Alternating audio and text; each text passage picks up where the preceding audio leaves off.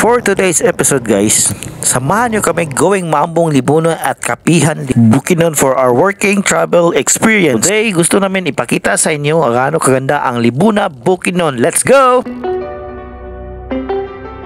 Welcome to Maambong Libuna Bukinon. If it's silent in dismay, it won't break this feeling down. If I conquer this my way, I'd devour, I'd surround. If it hurts you just a little, then it heals you when it's done. Disappointment is the anchor, resolution is the. So ngayon guys ay pupunta po na kami sa Kapihan uh, area. So again we're gonna take a detour tour going to Kapihan guys. Kasama ko ang mga estimator. Let's go! Welcome to Kapihan, Libuna, Bukidnon.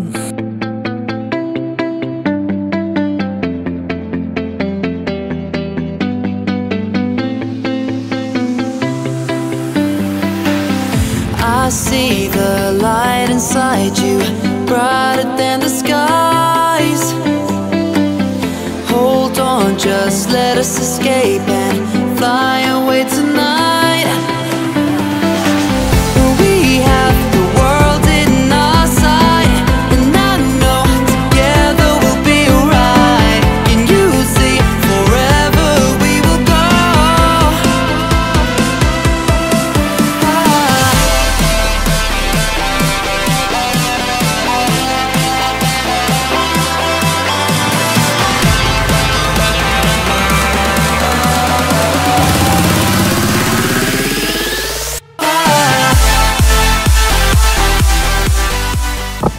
Shout out Tatski. So ipakilala ko naman guys sa mga kasama ko guys. Ito po sila guys. Ngayon going naman kami sa isang area ng Kapihan. So ito po mga kasama natin si Rovi at ito naman po si Jongjong.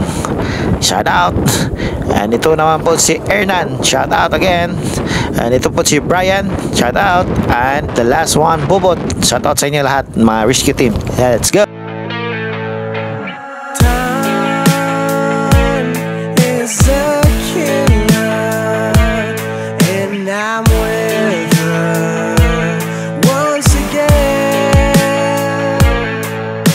Blind,